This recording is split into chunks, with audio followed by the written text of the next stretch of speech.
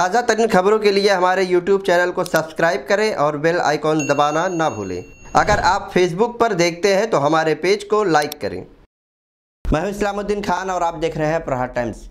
आज की पाँच बड़ी खबरें आपको दिखाते हैं। मुंबई के माहिम में शिवसेना नगर सेवक ने मुर्गी पालकों को जमकर पीटा। माहिम पुलिस कॉलोनी के पास शुक्रवार को सड़क किनारे खड़ी मुर्गी की गाड़ियों से गंदगी पर शिवसेना नगर सेवक मिलिंद वैद्य ने पिटाई की और स्थानीय लोगों से भी सहयोग करने को कहा। है पंजाब से एक शर्मसार कर देने वाला वीडियो सामने आया है, जहाँ दुकान पर कब्जा करने आए दो व्यक्तियों ने दो युवतियों को बीच सड़क पर पीटा। युवतियों के बाल पकड़कर लात घूसों से पिटाई की गई। बीच सड़क पर सब कुछ चलता रहा, मगर किसी ने भी बीच बचाव करने की कोशिश नहीं की। मामला पंजाब के कोटकपुरा का है।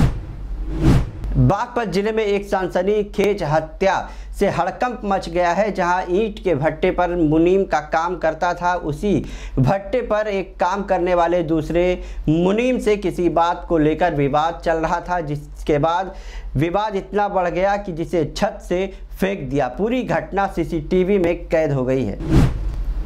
मुंबई सेंट्रल रेलवे स्टेशन पर एक बुज़ुर्ग रेल पटरी पर बैठकर आत्महत्या करने की कोशिश की, मगर एक जवान वहाँ पहुँच जाता है और बुज़ुर्ग को बचा लेता है। सीसीटीवी में आप देख सकते हैं कि बुज़ुर्ग प्लेटफॉर्म से नीचे उतरता है और पटरी पर बैठ जाता है, मगर जवान ने बड़ी ही बहादुरी से इस बुज़ुर्ग को बचा लिया।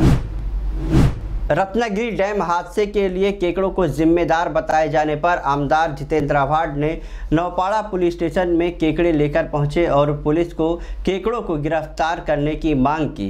रत्नागिरी डैम हादसे लोगों की मौत हो गई थी। हादसे का जिम्मेदार मंत्री तानाजी ने केकड़ों को बताया है। तमाम खबरों को जानने के लिए देखते रहिए प्रहार टाइम्स।